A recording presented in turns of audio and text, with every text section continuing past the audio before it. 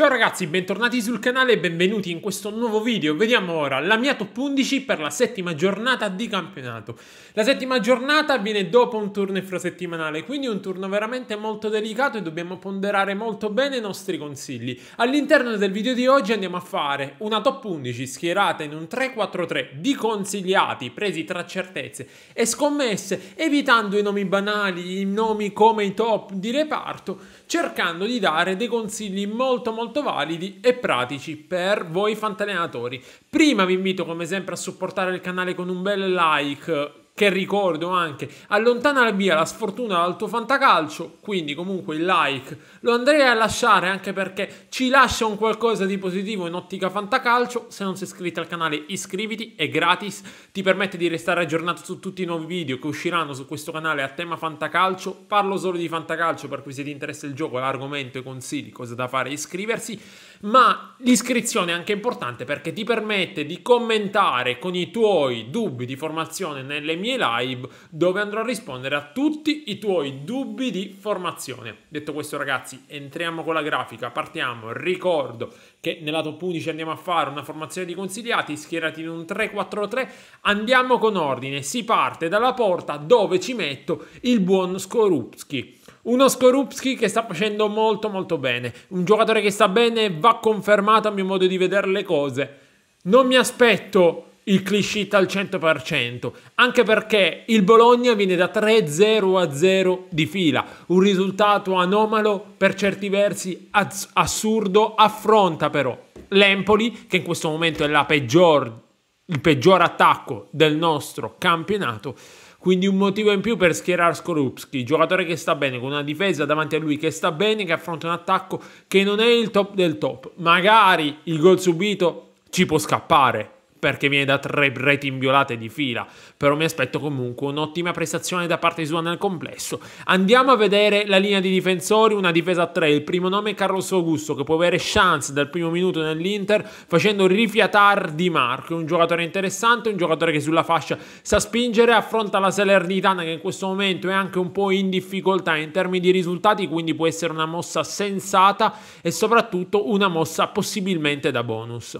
Come secondo difensore ci mette invece una certezza, una certezza da modificatore, un giocatore certezza per il voto, il 6, 6,5 dovrebbe garantirlo ancora, anche contro il Verona parlo di Peter Schurz, difensore centrale del Toro molto solido che affronta quindi il Verona come spoilerato nella presentazione di questo giocatore, un Verona che non sta producendo tantissimo a livello offensivo, quindi dovrebbe cavarsela anche in questa giornata il buon Scurs.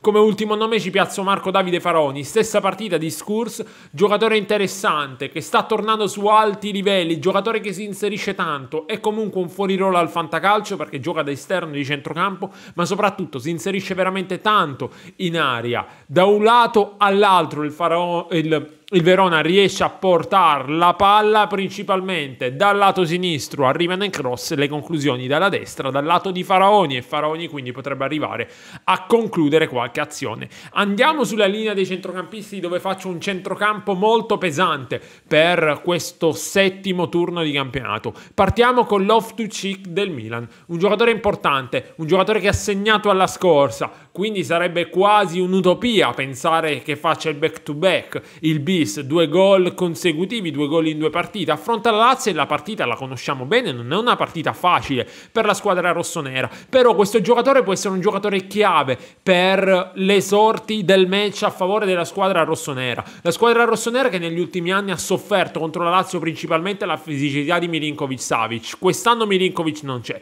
Ha tanta fisicità in mezzo grazie al centrocampista inglese che può essere quindi la chiave di risoluzione di questo match. Secondo nome, altro nome che viene da Milano ed è Nicolo Barella, però quindi sponda Inter, in questo caso un Inter che ha perso contro il Sassuolo, deve rifarsi, si è infortunato Frattesi, giocheranno quindi ancora una volta Barella, Mkhitaryan, Barella per me è una certezza che ancora quest'anno non ha portato bonus, Deve arrivare anche per lui prima o poi il bonus e sono convinto possa arrivare proprio in questa giornata di campionato. Terzo nome Ferguson del Bologna, un Bologna che non segna da tre giornate, un Bologna che comunque riesce a produrre. Ferguson è nel vivo del gioco, uno dei principali finalizzatori anche di questa squadra perché è uno dei giocatori che arriva più volte al tiro. Per il momento in queste prime sei giornate è arrivato in media per gara al tiro due volte a partita mentre 0,5 volte, quindi mezzo tiro di media in porta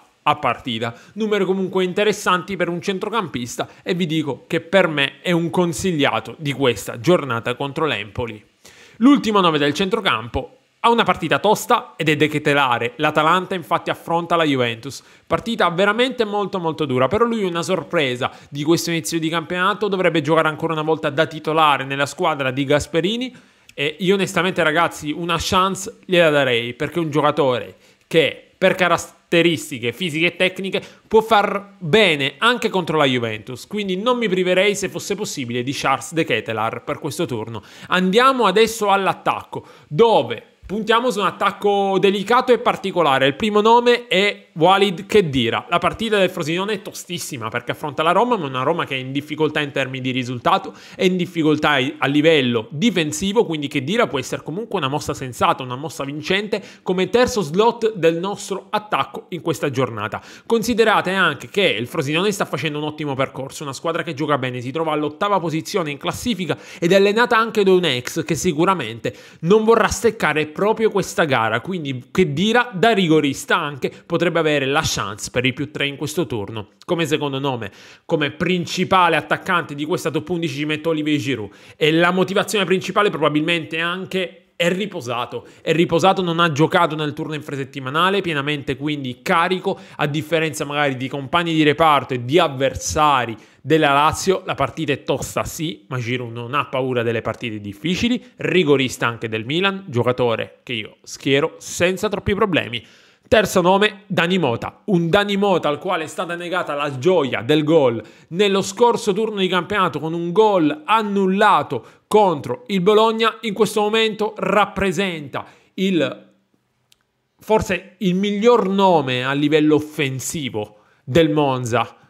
Per il momento c'è l'ombra del Papu Gomez che sta arrivando, deve scacciare via il prima possibile quest'ombra, facendo bene, trovando il primo gol in questo campionato. Fino ad ora ha sempre giocato, vorrà continuare sicuramente a giocare proprio come lo scorso anno, dove non era la prima scelta, però alla fine ha giocato tantissimo ed è stato anche il miglior marcatore del Monza in campionato.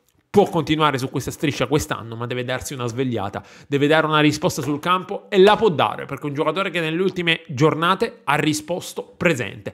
Bene ragazzi, per questo video è tutto, vi ringrazio per l'attenzione, ricordo a tutti di lasciare un like a questo video, se non siete iscritti iscrivetevi e noi ci vediamo con un nuovo contenuto a tema fantacalcio. Ciao a tutti!